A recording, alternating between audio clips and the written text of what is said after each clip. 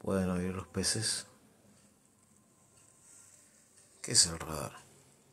¿Dónde se inventó el automóvil?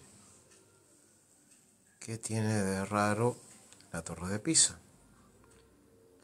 ¿Para qué sirve el amianto? ¿Cuál fue el primer reloj? ¿Por qué los dinosaurios ya no existen?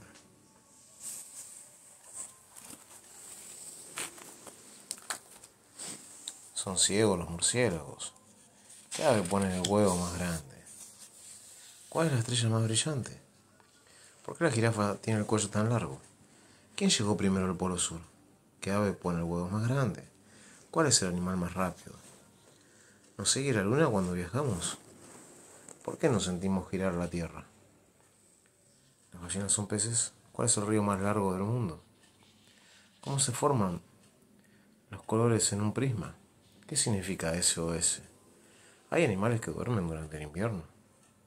¿Qué es el alfabeto braille? ¿Por qué hay huevos de pájaro de diferentes colores? ¿Por qué se le llama así al mar muerto? ¿Por qué lloramos al pelar una cebolla? ¿Dónde se hallan la mayoría de los volcanes? ¿Qué es un témpano? ¿Qué ciudad pertenece tanto a Europa como a Asia? ¿Qué es la Vía Láctea?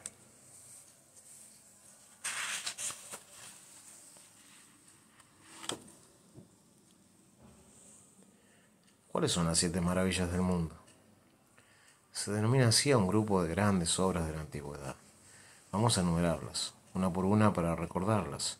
La pirámide de Keops, en Egipto, tumba del faraón y su esposa, construida hace más de cuatro mil años, que todavía hoy asombra a los hombres. Las murallas de Babilonia que hizo levantar el rey Nabucodonosor 600 años antes de Jesucristo, obra de gran solidez, de la que solo quedan algunas ruinas los llamados jardines colgantes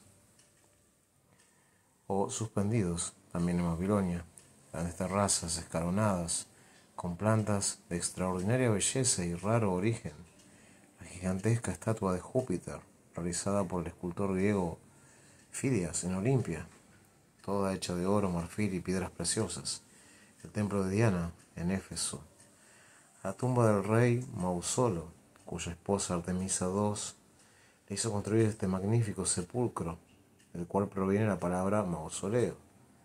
En la isla de Rodas, el coloso, estatua de 320 metros de altura, que fue destruida por un terremoto, y el faro de Alejandría, hermosa construcción también destruida por un terremoto, levantado en la isla de Faros, de donde deriva la palabra faro.